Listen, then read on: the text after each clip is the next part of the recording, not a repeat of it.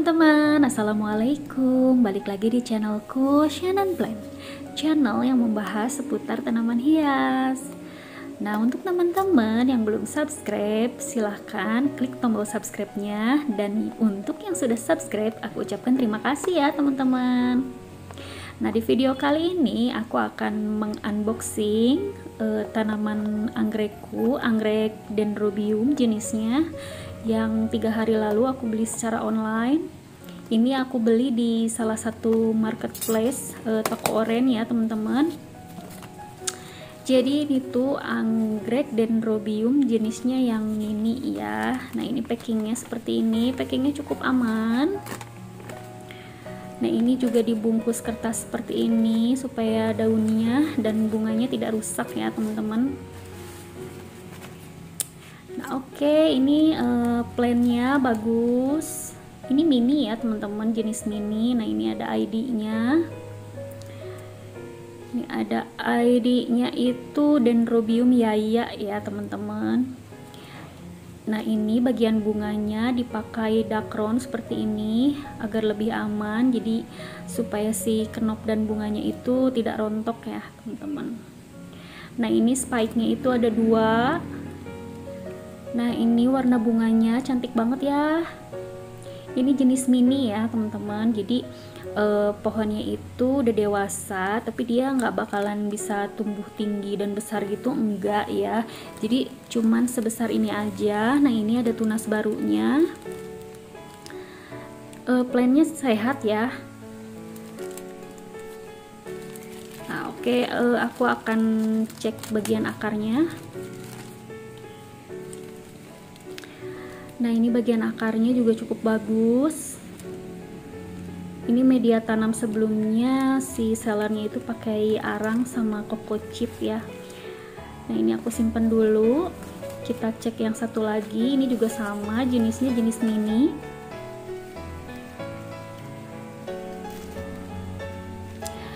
Jadi kadang ada seller yang nggak dilapis kayak gini ya teman-teman tapi ini uh, packingnya cukup bagus. Nah ini juga masih kenop. Uh, yang ini tuh jenisnya baby happy holiday. Jadi ini jenis mini juga. Nah ini ID nya aku copotin dulu si ID nya ini ada nama aku di sini. Bunganya seperti ini ya teman-teman. Nih ini kan belum berbunga tapi contoh bunganya seperti di atas ini kita cek dulu bagian akarnya. Nah ini juga akarnya cukup bagus tapi untuk yang ini sih media tanamnya itu dia pakainya pakis cacah ya dan juga koko chip. Nah ini bagian akarnya bagus. Ini ada satu daun yang defect aku buang aja karena kalau daun kayak gini tuh udah nggak bermanfaat ya dia juga udah rusak. Jadi mau aku buang. Nah ini spike nya cuman ada satu tapi ini ada bekas bunganya di sini. Jadi ini tuh plannya tuh udah dewasa ya teman-teman. Cuma dia tuh mini gitu. Dan kenapa aku suka dendrobium mini? Karena kebunku itu kan kecil jadi dia tidak terlalu memakan tempat gitu ya. Terus si bunganya tuh lucu banget gitu mini-mini gitu.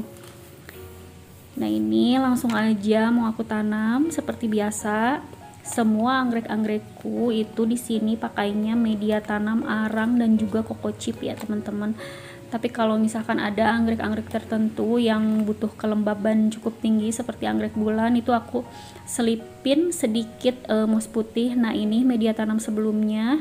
Ini dia pakai koko chip. Nah aku tanam aja.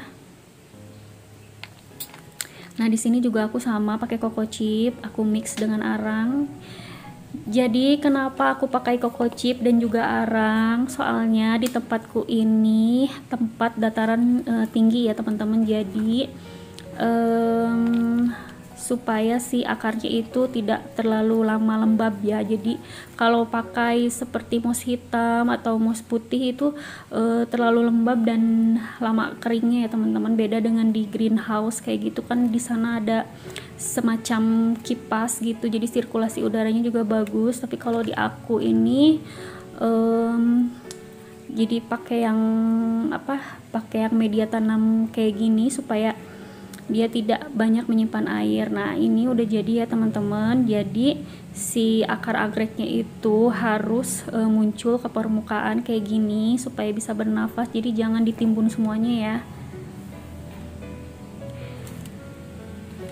ini ini ID-nya aku pasang. Jadi teman-teman kalau beli online itu sebisa mungkin ID-nya itu disisipkan kayak gini ya supaya nanti nggak bingung teman-teman. Nah aku tanam yang satunya lagi. Ini juga sama media tanamnya dia di sana pakai arang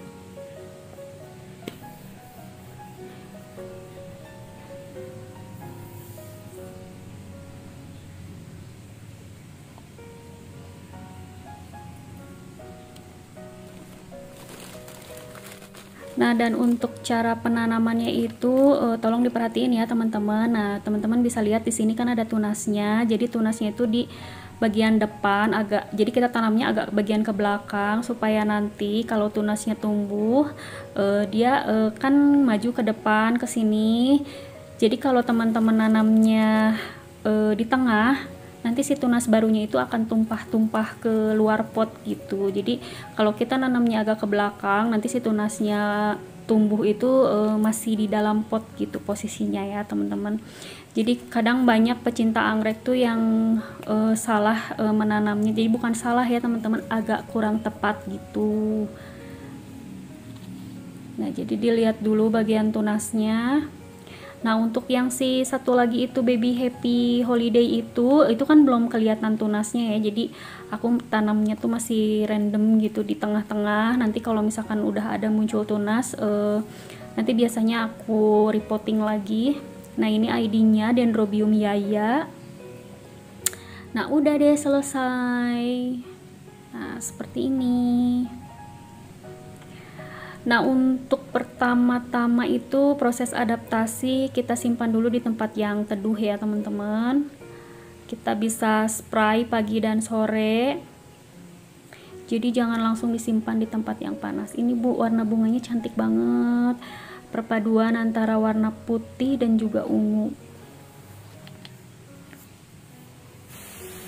Nah, ini aku simpan di bawah naungan seperti ini. Jadi ini tuh hanya terkena sinar matahari pagi dari jam 7 sampai dengan jam 8 pagi.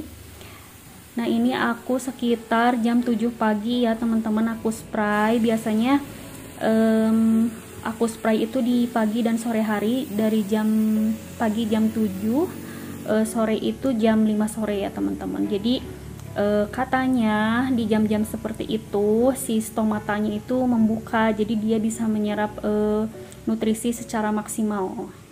Jadi di sini aku spray pakai uh, pupuk POC yang dicampur dengan air. Untuk teman-teman yang pengen tahu cara uh, aku ngebuat pupuknya ada di video sebelumnya ya teman-teman. Nah ini aku spray aja semuanya. Ini juga sama ya teman-teman, ada yang seedling, ada yang remaja. Jadi aku uh, campur aja di sini. Nah ini aku uh, tempel di papan pakis kayak gini tapi nggak aku gantung ya teman-teman. Aku simpan di dalam pot supaya uh, lebih menjaga kelembapan aja. Karena di umur seedling kayak gitu uh, dia uh, butuh kelembaban yang cukup ya. Jadi jangan sampai kering. Nah ini dia udah ada tunas baru ini juga udah menumbuhkan akar baru kayak gini ini tuh baru sekitar satu minggu lebih ya di rumahku tapi perkembangannya cukup bagus karena dia terkena sinar matahari pagi teman-teman Oke, cukup sekian dulu video dari aku ya, teman-teman.